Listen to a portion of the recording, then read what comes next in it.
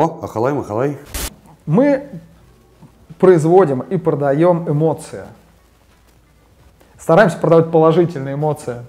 То есть человек э, выпил вкусного пива, ему приятно, ему, потому что ему нравится вкус, мозг получает информацию от э, вкусовых рецепторов, говорит, вау, я попробовал вкусняшку, как дети шоколадку в детстве, да, там, все, съел шоколадку и счастлив. Эндорфины, серотонины, вот Да, это да. вот все, да?